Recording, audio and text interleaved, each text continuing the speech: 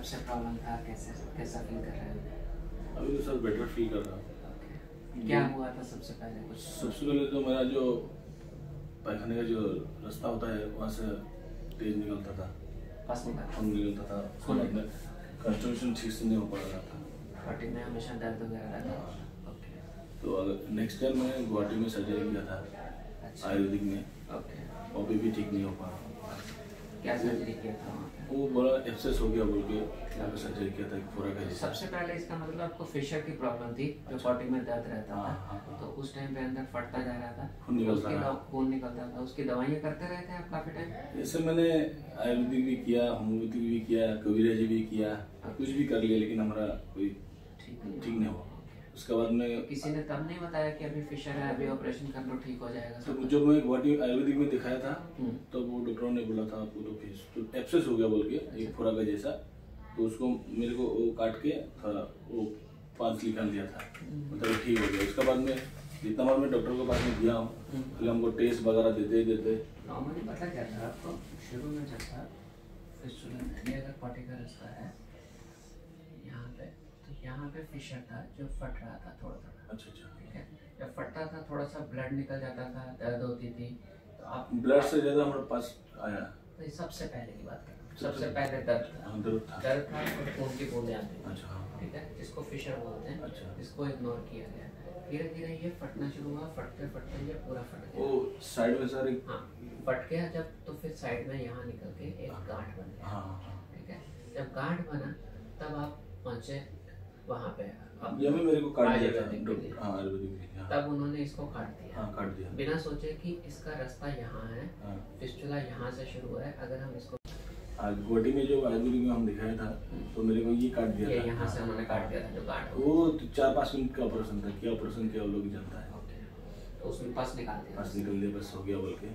अगले दिन मेरे को पट्टी वगैरह आयुर्वेदिक का गज का क्या हल्दी का और क्या क्या गज का वो पट्टी लगाया था। कितनी देर तक पट्टी चलता। वो एक दिन आगे में लगा के रखा बोलते वो पक जाएगा।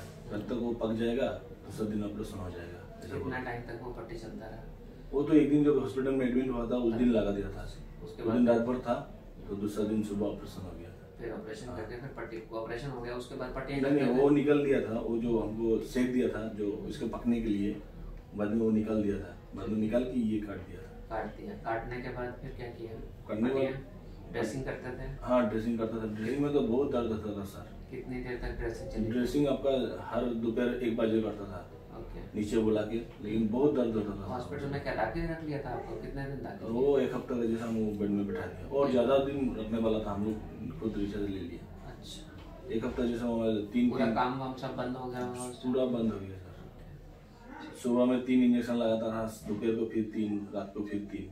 छः छः इंजेक्शन हाथ में मारता था। टाइम फिर वो ट्रीटमेंट कितने टाइम तक चला? वो तो एक महीने के बाद फिर डॉक्टर ने बोला एक महीने के बाद फिर किया। तो डॉक्टर क्या क्या दवाई खाली दवाई लिखता है। दवाई लिखने के बाद में दवाई किया कुछ भी नहीं हो पा रहा था। फिर हमारे पास आए कि किसी और जगह गए थे उसके बाद?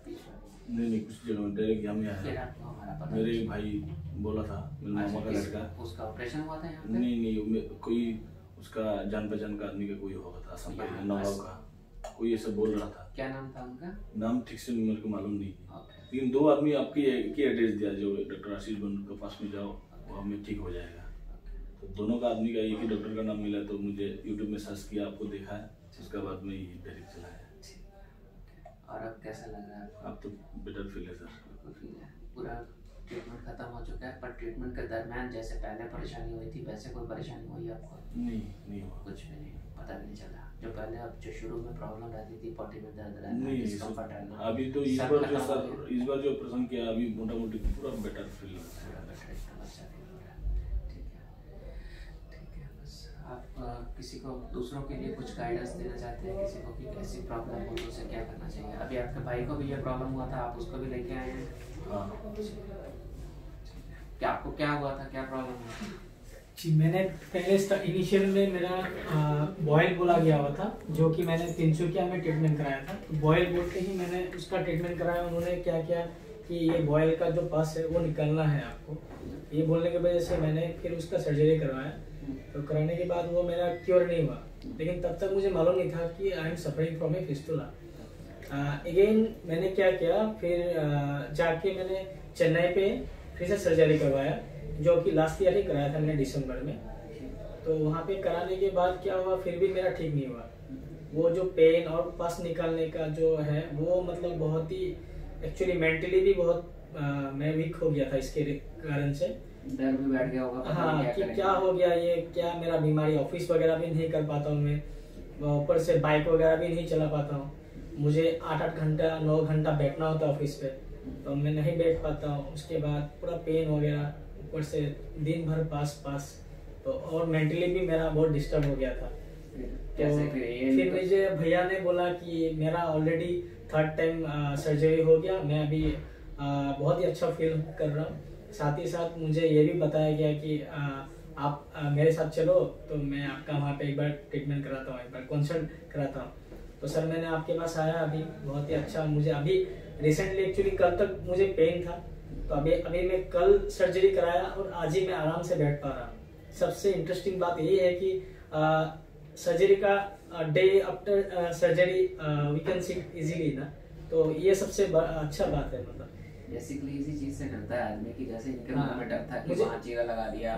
महीना हफ़्ता महीना हॉस्पिटल में रखेंगे पट्टियाँ। करेंगे वो सब कुछ नहीं है कल किया आज ही आप बैठे हो कल से अपनी गाड़ी चलाओ बाइक चलाओ सब कर सकते हो। मेरी तरफ़ से कोई रिस्ट्रिक्शन नहीं। एक्चुअली क्या है कि ये सर्जरी हुआ बोल के लग ही नहीं रहा है मुझे कि मेरा एक सर्जरी हो गया। नॉर्मली क्या होता है सर्जरी का बोलने से बहुत ही डर लगता है कि कैसा होगा सर्जरी लेकिन अभी बहुत अच्छा फील भी कर रहा हूँ। मुझे इतना पॉजिटिव एक वाइब आ रहा है कि होपफुली मैं शायद ठीक ही हो जाऊँगा। शायद नहीं पक्का ठीक होना don't worry ninety percent chance है हालाँकि सौ परसेंट किसी को नहीं बोलता पर मुझे नहीं ध्यान कि कोई ना ठीक हुआ सभी ठीक होके जाते हैं ठीक है? थैंक यू और अगर यही अगर शुरू में कर लिया जाता जैसे इनके केस में फिशर हुआ था जी सर। वो फिशर पेन की दवाई जो तो इतना लंबा ट्रीटमेंट नहीं चलता बहुत जल्दी खत्म हो जाता। बट क्योंकि उस टाइम पे इग्नोर हुआ फिर सर्जरी हुआ फिर वहाँ पे गड़बड़ हुआ फिर उसकी प्रॉब्लम के बाद दो दो बार जिस तरह से आपका भी दो बार सर्जरी हुआ। जी सर। बट पहले हमें अंदर खत्म करना है फिर बाहर।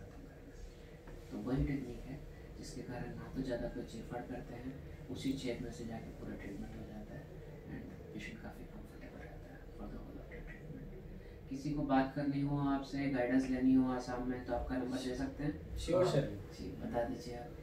Nine eight six four nine seven eight six two three आपका भी जी सर। हाँ। आप आप लोग हमारे फीडबैक लेने के लिए कॉल कर सकते हैं हमें। कि हम लोग कैसे फील कर रहे हैं अभी। तो अगर कुछ जानना होगा तो आप लोग हमें कॉल करके जान सकते हैं। मेरा कॉन्टैक्ट नंबर है seven double zero two nine four double one four five तो मैं असम का सारा पेशेंट को अगर इस डिज़ीज़ से कोई फेस कर रहे उनका जो माइंडसेट है वो मैं समझ सकता हूँ कि वो बहुत ही टेंशन भरा होता है। तो मैं सजेस्ट करूँगा कि आप लोग आइए दिल्ली इंक्लूडिंग आप आशीष सर से मिलिए। मिलके कंसल्ट कीजिए, उसके बाद बहुत ही अच्छा ट्रीटमेंट मिलने वाला है आप लोग को। तो आसाम के सारे फ्रेंड्स को या फिर जो भी है पेशेंट्स वगैरह तो मैं सबको सजेस्ट करता हूँ कि आप लोग एक बार आइए, आके यहाँ पे ट्रीटमेंट कराइए आपका। And you will be hundred percent I am sure that actually मैं खुद ही पॉजिटिव इतना हूँ कि मुझे एक ही सर्जरी से मुझे ऐसा लग रहा है कि मैं ठीक हो हो गया मतलब ऑलमोस्ट तो होपफुली आप लोग भी अच्छा पाएँगे तो आप ज़रूर आ सकते हैं।